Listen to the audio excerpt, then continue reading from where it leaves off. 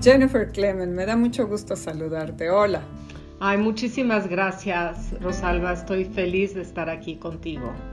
Quisiera preguntarte para ti como presidenta emérita de PEN Internacional, ¿por qué es importante que el archivo de PEN resida precisamente en el Harry Ransom Center Museum de la Universidad de Texas en Austin?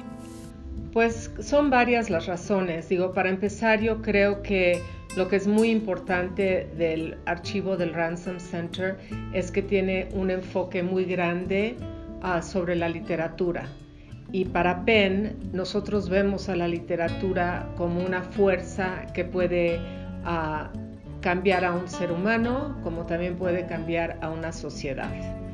Ah, también nos importa mucho conservar la memoria de lo que ha sido la lucha por la libertad de expresión ya por 100 años.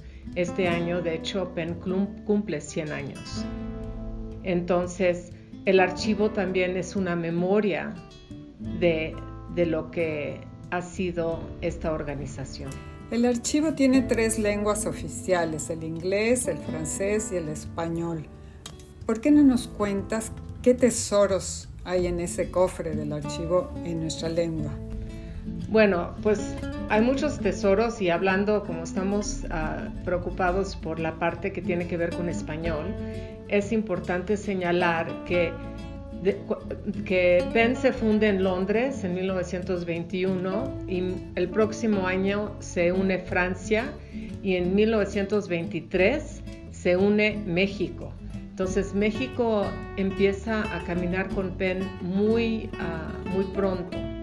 Y bueno, hay historias muy fascinantes sobre Argentina, sobre Chile, entonces yo creo que hay mucho dentro del archivo fascinante en español.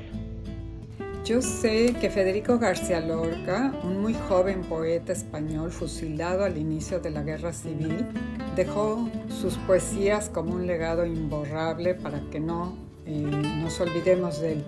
Eh, y me parecería que es a las letras españolas una especie de Oscar Wilde eh, en las letras inglesas. ¿Nos puedes contar un poco qué tiene el archivo de él? En lo que toca a Federico García Lorca, realmente es un momento muy importante para Penn, porque es el momento en donde se empiezan a dar cuenta, el presidente en ese entonces era H.G. Wells, que van a tener que tratar de ayudar a escritores encarcelados o en peligro, en riesgo, y Federico García Lorca es uno de los primeros casos. Él era un poeta, un magnífico poeta, muy popular en su tiempo, socialista, homosexual, y H.G. Wells manda un telegrama en donde pide tener noticias.